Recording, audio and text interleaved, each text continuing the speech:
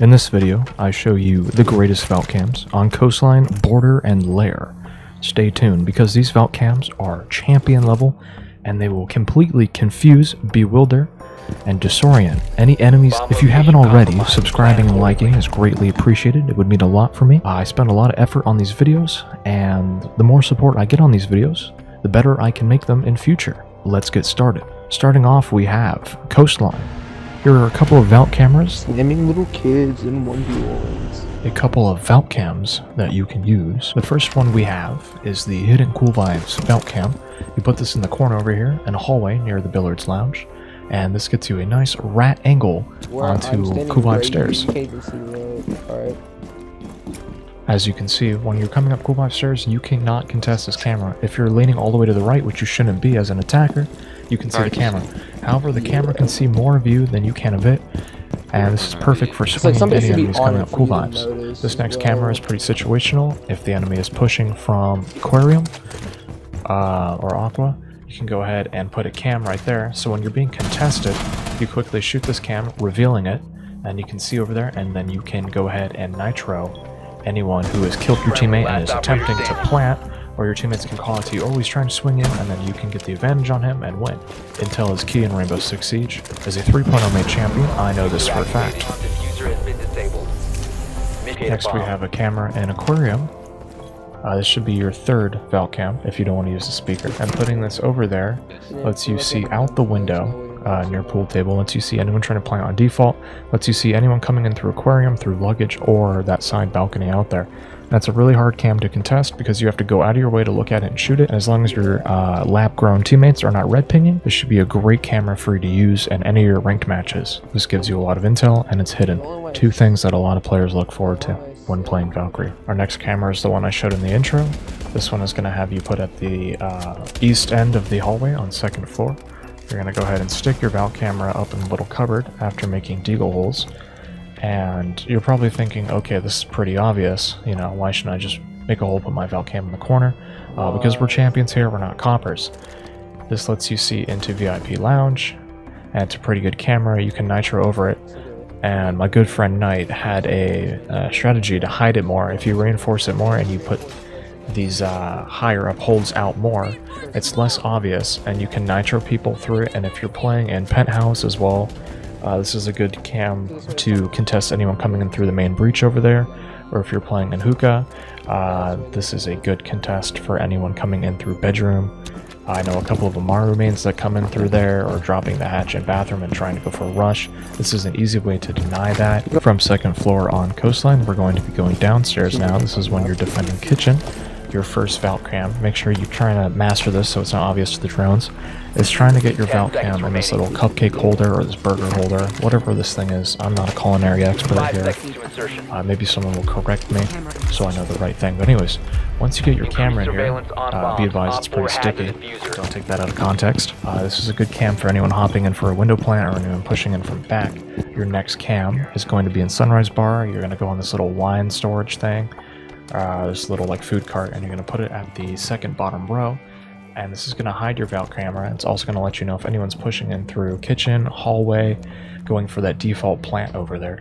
So now all of A site is covered by your Valk cams, and you're only using two cams, which means that your third camera can be used for other stuff. Your third camera, however, if you want to put in what other spot, uh, I have a good spot for you. You might want to take some notes here.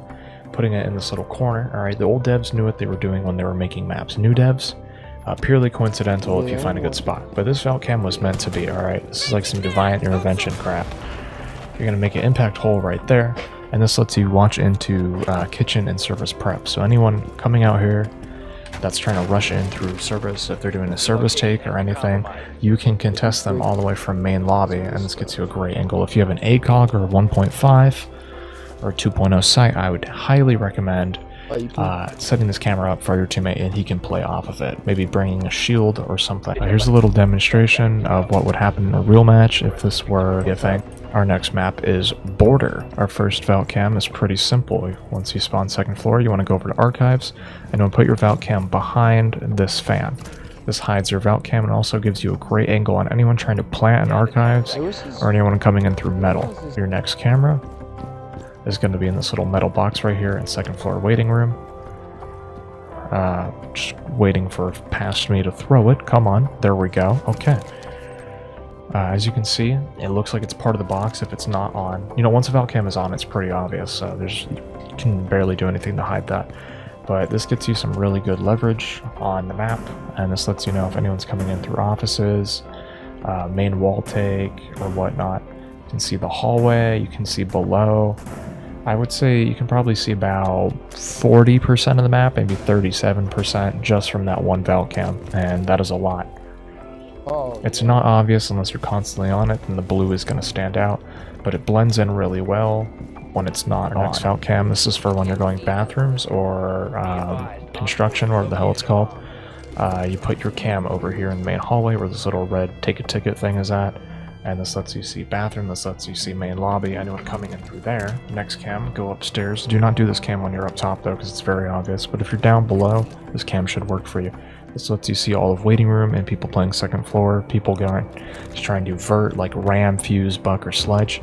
That way you can be like, oh, watch out, teammate. You know, there's a guy fusing and he won't lose your entire team to a single cluster charge. You gotta protect your lab grown teammates, alright? And the test tube babies, you know, this batch this past week hasn't been really that good, so I have to make these Valcam videos to preserve what we have left of the Siege community. Here's another example of what this would look like if you're playing up top and you open that wall and you're trying to contest anyone coming in through there. Okay, this next cam is in workshop. I did this one completely by accident. But if you put a bright light inside of another bright light, Why, I will demonstrate. Or Knight will say exactly what I was going to say. But yeah, you really cannot tell. Uh, this is a great cam watching anyone trying to get the wall when you're playing in bathroom. And it, it- you really cannot tell. It blends in really well. And it lets you see a lot. It lets you see a little bit of main lobby as well. Moving on from Border, we have Lair, uh, one of my favorite maps in Siege. First cam is in Reception. Uh, this is good for or second floor. And you're going to want to put this in the left rocket, uh, right at the top. And what this is going to do is this is going to let you see uh, anyone coming in through second floor in that little main passageway that they're trying to get into site. Another cam for second floor, uh, ignoring Dracula talking to his mother. Uh, putting this camera inside of the R6 room. Uh, and this lets you see both sites. Lets you see anyone coming in through B site. It lets you see anyone coming through main A site or on that side breach wall. A really quick Valk cam to set up. Just make sure no, like no drones see it. Your next cam is going to be in second floor operational, and uh, this lets you see anyone coming in through like this main area that a lot of people like to push through if you're second floor, or if you're below anyone trying to play vert on you. You can destroy this TV, but be advised, the more that you destroy of it, the less hidden your Valk cam is. So more visibility, but less protection, less cover built, like less cover for your Valk cam. Uh, here's me demonstrating what uh, no cover looks like and how much of the room you can see when the TV is fully broken. This next Valk cam is for if you're going security or armory, or not, security or uh, dorms The for for first floor of lair. And putting this cam exactly in this little inlet right here, looking south in security. This hides your cam pretty well, and the blue light is the only thing that will give it away since it blends in with the background. Uh, once again, this lets you see anyone coming in through security, this main door over here, or the other main take. Most people come in through this area or they try and get the main wall. If main wall is bandaged and they don't have a hard breacher, this is where they're going to push in from.